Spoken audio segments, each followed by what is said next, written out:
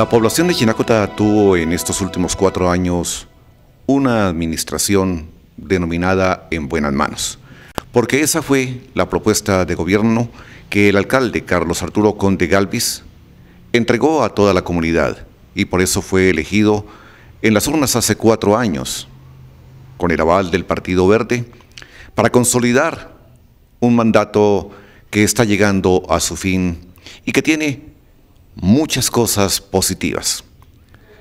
Estamos en el despacho del señor alcalde para hablar brevemente de todos esos temas que hoy vale la pena reseñar y resumir a toda la comunidad, tanto la residente en Chinacota como los chinacotenses desperdigados en el departamento, en el país o el mundo, porque van a poder observar este material periodístico. Señor alcalde, bienvenido y vamos a hablar de su administración en buenas manos. Sí, gracias a Dios pues ya estamos terminando estos cuatro años de administración. Una administración en la cual su lema lo dice todo, Chinacota en buenas manos. Eh, nos propusimos cambiar la cultura de este municipio de invertir bien los recursos. Aquí no gastamos, sino invertimos. Es por eso que las obras se ven, empezando por la parte de infraestructura, el mejoramiento de la malla vial, tanto urbana como rural. Se puede decir con tranquilidad que usted cumplió y que está satisfecho con esos ejes que propuso a la comunidad en su plan de gobierno. Sí, gracias a Dios eh, que hemos cumplido con el plan de desarrollo, el cual se presentó a la comunidad. Y es por eso que si revisamos eh, sector por sector, pues las cosas se hicieron. Entonces, mm, hablemos sector por sector. El gobierno colombiano está empeñado desde hace algunos meses en que el país sea el más educado de América Latina. Obviamente pensamos de Norte de Santander o de Chinacota, que también debe ser el departamento y la población más educada. Usted apostó bastante al tema de educación. Hizo bastante.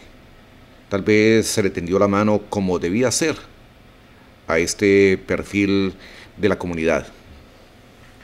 Sí, gracias a Dios con los pocos recursos que llegan y la gestión que se hizo, se le hicieron mantenimiento a varias instituciones educativas, en la parte rural como parte urbana. Igualmente se les dotó de elementos o ayudas educativas como biobin, televisores, igualmente sillas universitarias, tableros y otros elementos que ellos necesitan. Igualmente eh, nos pusimos la meta de que mucho joven hiciera parte de los pilos, de los pilosos. Y es por eso que para el último año a mejor prueba IFES se le dio un millón de pesos a cada una de las tres instituciones, las mejores pruebas IFES. Esto los incentivó a que Chinacota pues tuviese en cada eh, institución bastantes eh, alumnos con puntaje alto. Pues sí, como usted bien lo sabe, la comunidad también ha estado informada y orientada al respecto se le ha invertido bastante a la educación. Y por ejemplo, en las sedes rurales, que hacía mucho rato no tenían una manito amiga, usted sí les tendió esa mano. Y hoy en día esas sedes están mejor, más cómodas, con menos riesgos. Y los niños pueden estudiar en sedes muy dignas ahí cerca de sus hogares en las diferentes veredas. Y además, hay que decirlo así, mejor transportados, porque ese fue otro de los buenos logros en su administración. Sí, gracias a Dios pues cumplimos con el transporte escolar, no es fácil. Eh, gracias a Dios esta administración compró un bus totalmente nuevo para hacer varias rutas y es por eso que los niños han vuelto a sus escuelas, a sus colegios, para adquirir los conocimientos respectivos. ¿Satisfecho entonces con todo lo que se hizo en la parte educativa o quedó algo importante por hacer? Sí, como todo, en cuatro años no se soluciona tantos problemas, tantos inconvenientes, pero ahí hemos dejado una buena semilla para que las próximas administraciones tomen este ejemplo. Señor alcalde, hablemos ahora de ese otro perfil, tal vez por el que más se mira y se trata de calificar y cualificar una administración, que es la parte de obras públicas, de infraestructura. usted también invirtió bastante aquí en Chinacota, en la parte urbana. Obviamente también lo hizo en el sector rural. Hablemos de ese tema. Sí, en la parte urbana eh, a la fecha pues eh, han mejorado 30 calles, más de 30 calles, de las cuales pues, se les ha cambiado el acueducto, el alcantarillado, igualmente la respectiva caja de inspección en cada vivienda, sin que la comunidad aporte un peso. Estos son hechos por recursos propios y la verdad que mejorar más de 30 calles es una tarea bastante ardua.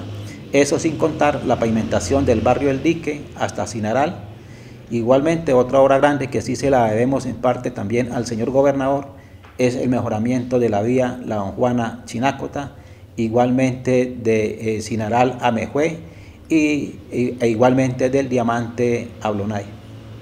Y todas estas buenas obras se han cumplido con los estándares que hoy en día exigen la norma, ¿no? Sí, empezando ahorita estamos eh, mejorando unas calles, las cuales pues su espesor es de 15 centímetros, pues esto dice mucho de la buena calidad de estas obras que se están haciendo. Igualmente en la parte rural, también mejoramos varias eh, vías rurales con placa huella y esta es gestión que también... Importantísimo ese tema que usted toca, señor alcalde, de las placas huella. Por todos los puntos cardinales de Chinacota se hicieron, especialmente en esos puntos que son muy complicados, especialmente en invierno, y que van a permitir una mejor movilidad de la gente del campo sobre todo.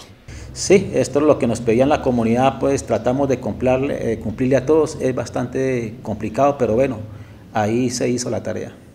Eso en cuanto había sector rural y urbano, pero también se hicieron buenas obras de ornato en la casita bonita de norte de Santander. Por ejemplo, el atrio municipal, el Parque Ramón González Valencia, que hoy luce otra cara. Sí, esto como siempre decimos, Chinacota, la casita bonita del norte de Santander. Y uno la casa, pues la sala es la que hay que mejorar. Y es por eso que se hizo una remodelación total, lo que es el atrio, igualmente el parque principal Ramón González Valencia. También en educación se me olvidaba la construcción de la nueva biblioteca municipal, que la verdad pues queda uno admirado de tantos niños y niñas, adolescentes y adultos mayores también que la visitan para pasar... Eh, eh, adquirir más conocimientos. Se ha convertido la biblioteca en un nuevo punto de encuentro ¿no? de la juventud y de toda la comunidad de Chinacota. Sí, gracias a Dios este sector se ha recuperado. Igualmente en este sector estamos mejorando las calles y la verdad que la comunidad está asistiendo a, a este sector. Bueno, haciendo un recorrido así de rapidez, a grosso modo, fueron muchas las obras públicas que se lograron hacer. Y podemos citar, por ejemplo, el Coliseo de Tejo Ambrosio Alfinger, cubiertas en diferentes escenarios deportivos. El centro de atención a la niñez, donde se va a integrar todo para cuidar a los más chiquitos de Chinácota, por fin se terminó, una obra que había quedado totalmente inconclusa en otra oportunidad. Sí, varias obras importantes, empezando por el Coliseo de Tejo, totalmente remodelado. Y entendamos que el tejo es el deporte autóctono de Colombia. Es por eso que es de los pocos municipios del norte de Santander que cuenta con un coliseo de tejo. Igualmente ya nos van a entregar el estadio Pedro León Estupiñán, totalmente remodelado. E igualmente lo que se refiere a la gramilla, totalmente nueva, con sus filtros, con su riego automático. Igualmente varias cubiertas para la práctica de deporte de estas canchas que hay en el municipio de Chinacota. También en la parte rural eh, se hicieron más de 400 cocinas con humo regulado, más de 45 baterías sanitarias y esto ayuda al mejoramiento y a la calidad de vida de nuestros hermanos campesinos. Indiscutiblemente son temas muy importantes en su administración en buenas manos, alcalde. Volviendo al tema de educación, a la niñez, se le dio pues supremamente atención en todo sentido, por ejemplo en la alimentación, en las raciones diarias, bien balanceada, bien nutritiva, pero también deliciosa, eh, implementos deportivos, en fin, muchísimas cosas han podido recibir ellos para que tengan una mejor formación. Y además se les hizo excelente entrega de uniformes e implementos deportivos para, entre otras cosas, la mejor utilización del tiempo libre. Sí, nosotros pues hicimos buenas dotaciones de elementos deportivos para que practiquen sus deportes. Igualmente los refrigerios que tanta falta le hacen a nuestros niños. También el Centro de Desarrollo Infantil o Centro Grupal que llamamos ya se va a inaugurar.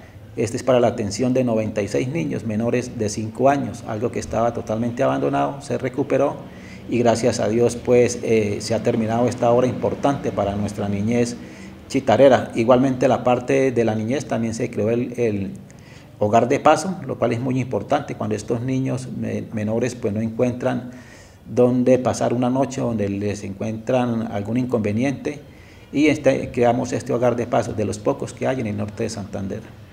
A nivel de la parte fiscal, alcalde del municipio, usted lo recibió bastante, altamente endeudado.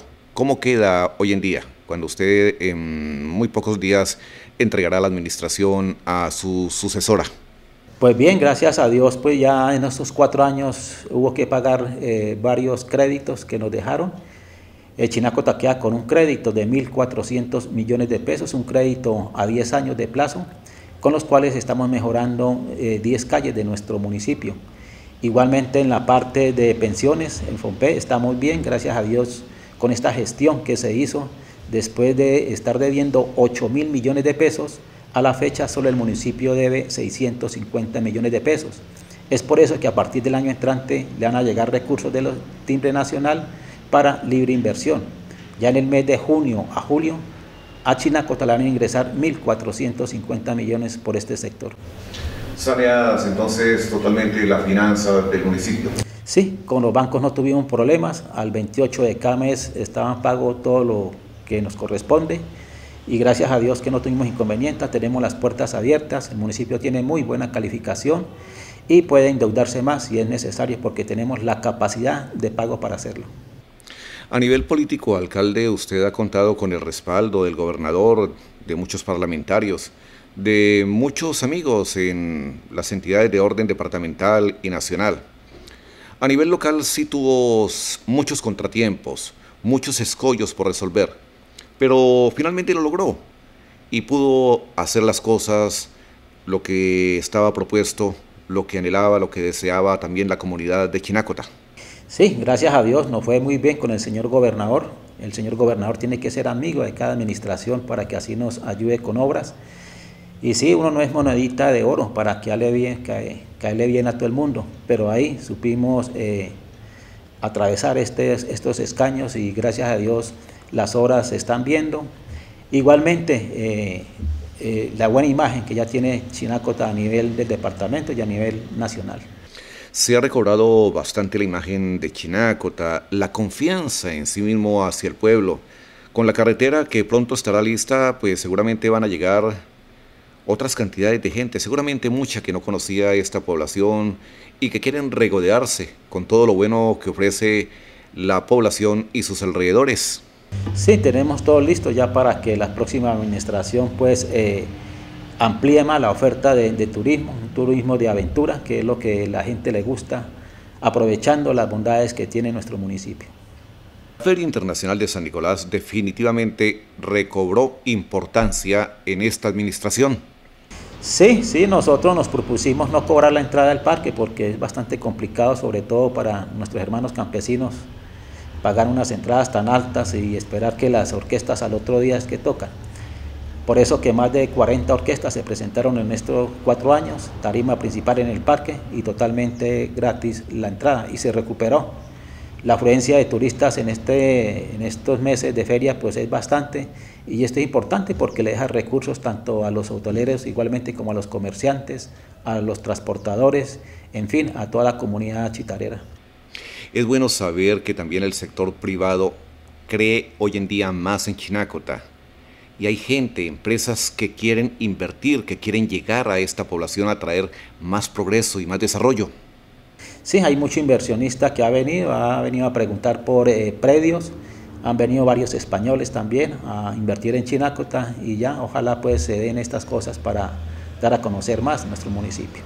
Contó usted, señor alcalde, con un excelente equipo de trabajo, de talento humano, y que lo acompañaron desde un comienzo y siguen con usted. Sí, gente muy, muy honesta, la gente muy trabajadora, muy comprometida con el municipio. Y son funcionarios que le duele el municipio y como lo sienten, pues eh, hacen las cosas bien.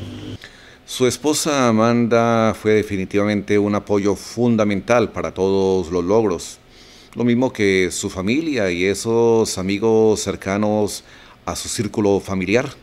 Sí, sobre todo la familia, ¿no? Es un apoyo muy importante. Igualmente la gestora, eh, Amanda, pues fue mi mano derecha en los programas lo que es la niñez, igualmente el adulto mayor. Gracias a Dios tuvo muy buena conexión con la gestora del departamento y es por eso que se hizo un buen trabajo para nuestros habitantes. ¿Hubo algún momento en que usted hubiera querido tirar la toalla, como se dice en el argot boxístico? A ver, sí, yo nunca había tenido la oportunidad de, esta cuestión de política, pero los primeros años o el primer año fue bastante complicado. Gracias a Dios, pues eh, supimos eh, eh, pensar bien las cosas y hacerlas bien, y por eso ya el próximo 31 de diciembre entregamos esta administración. Totalmente satisfecho. Sí, contento y con el deber cumplido, ¿no? gracias a Dios, pues uno llega y duerme bien, porque no tiene ningún pecado, no tengo eh, algo que arrepentirme, se hizo toda conciencia y lo importante, tener la conciencia tranquila. Va a descansar, imaginamos, eh, algunos días, ¿se va a dedicar a la política o a sus cosas particulares eh, más adelante? Sí, no, ya esto el próximo año, ya empiezo a recibir mi pensión de los 28 años que trabajé en el Banco Cafetero. Voy a dedicarle más tiempo también a la familia y bueno, seguiré por aquí mirando, pienso asistir a las sesiones del Consejo porque Chinacota es de todos y como chitarero eh, voy a estar pendiente de muchas cosas. Si lo llama la comunidad le dice Carlos, queremos que sea de nuevo concejal o, de pronto lance de nuevo a la alcaldía, ¿lo haría? Hay que pensarlo, don Ciro, esto no es fácil, la verdad que es bastante complicado, pero no, sé, la verdad que no sé. ¿Qué le faltó por hacer? Eh, eh, hablamos ya de algunas cositas, pero realmente de todas esas ideas, de esos sueños o de esos anhelos que faltó por, por, concretar bien? Sí, a ver, hay un proyecto que siempre he tenido en mente, es el mejoramiento de los andenes de nuestro municipio. Desafortunadamente hay andenes que parecen montañas rusas. Esto es bastante complicado porque, eh, empezando por el material, no es apto para estos andenes y la idea es ampliarlos más para que así pues el turista pueda recorrer mejor el municipio. Usted planteó en alguna oportunidad la oficina de tránsito y también la de turismo. ¿Qué pasó con esos temas? Sí, sí, esa pues es un poquito complicado lo de tránsito, es un proceso, un proceso. Ya se hicieron unas bases, ya están las bases sentadas para que la próxima administración eh, haga este proyecto tan importante como es la Secretaría de Tránsito. En seguridad también se ganó bastante, esa es la percepción que queda entre la comunidad y visitantes. Gran apoyo del ejército, de la policía. Sí, gracias a Dios contamos con la colaboración del Batallón García Rovira de la ciudad de Pamplona, igualmente la Policía Nacional, eh, acantonada acá en el municipio, la Defensa Civil, Cuerpo de Bomberos, igualmente el CTI, y la Fiscalía. Esto nos ha llevado a que Chinacota sea uno de los municipios más tranquilos del norte de Santander. Usted habla, señor alcalde, de la sala bien arreglada, de la casa para recibir a los visitantes. Pero la casa en sí la dejó también muy arreglada, la casa municipal, el palacio de gobierno. También tuvo inversiones muy positivas para que todos estén cómodos, tanto trabajadores como visitantes. Sí, fue un proyecto de principio de, administración, se dieron las cosas y es por eso que todas las dependencias de esta eh, administración quedaron totalmente remodeladas, con buenas sillas, buenos escritorios, eh, elementos de cómputo, igualmente impresoras, todo, todo porque tenía años, pero años de que no se le invertía un peso para el mejoramiento de las instalaciones, igualmente el bienestar de los funcionarios y la buena atención para los que nos visitan. Tiene hasta circuito cerrado de televisión para una mejor vigilancia y apoyo en todo sentido en ese proceso. Y a propósito de cámaras, también sabemos que pronto serán instaladas cámaras de vigilancia en diferentes puntos de Chinacota. Sí, este tiene un circuito cerrado de televisión. Igualmente ya quedó eh, firmado el convenio con la Policía Nacional para la instalación de 14 cámaras en todo el municipio. Este proyecto empieza ya a realizarse a partir del mes de marzo del año entrante y vamos a contar con una buena eh, vigilancia para que así pues no se nos presenten inconvenientes. Ya hizo el empalme, terminó de hacerlo con la alcaldesa entrante Nubia Romero. Estamos en eso, ya vamos a terminar alistando los informes e igualmente dejarles unas buenas ideas que ojalá las tenga en cuenta para el bien del municipio. Si las personas quieren enterarse de todo lo que usted hizo en estos cuatro años, simplemente deben acceder a la página web, ¿no? Ustedes tienen o deben montar todo el informe de gestión ahí, ¿cierto? Ahí está todo, todo lo referente al municipio y con, pueden eh, entrar a esta página y cualquier información, ahí está. Ahí están las obras, los datos, los contratos, etcétera, etcétera. Todo, bien claro y transparente. Todo como un libro abierto. Bueno, Carmen, muchísimas gracias por eh, atendernos y finalmente su agradecimiento a personas, empresas, instituciones que han estado con usted en este mandato en buenas manos. Sí, un agradecimiento igualmente a todas estas empresas, a todas estas personas que nos colaboraron en estos cuatro años sin ningún interés y por eso pues eh, hemos cumplido, cumplido con lo que se ha prometido. Igualmente una feliz Navidad y un próspero año nuevo a todos nuestros habitantes, a todos nuestros turistas, en sí, a toda la población en general.